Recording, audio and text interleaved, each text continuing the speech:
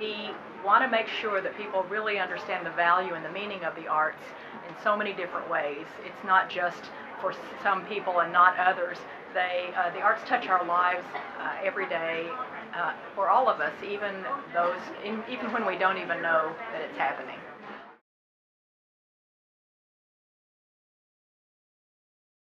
It's such a great time to be able to uh, think about a career in the creative fields, and uh, because of several things. It used to be, especially as a leader, that people would look at leaders as those who really had a lot of information about one specific subject. And there's nothing wrong with that. We all want more information to help us make good decisions.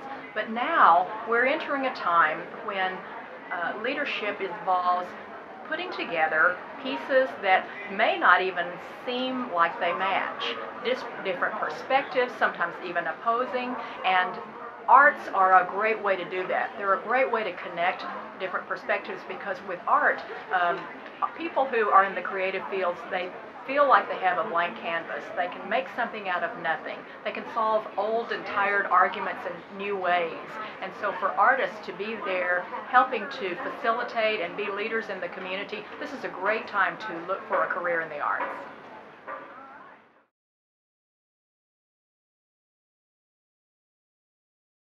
In addition to honing their own skills and forms of expression that they want to have, uh, artists have the opportunity to further develop their communication skills.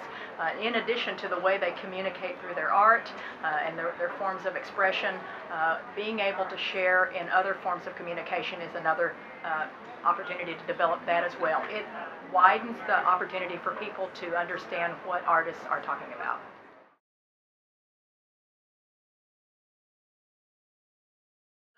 To what we talked about earlier that I'm so excited about, and that is uh, the artists have a arts and arts providers, people in the arts of uh, any form and shape and organizational leaders have an opportunity to be a leader in the community because of the way they think, the way they are, because of their comfort in ambiguity, their comfort in bringing together perspectives that don't even seem like they match.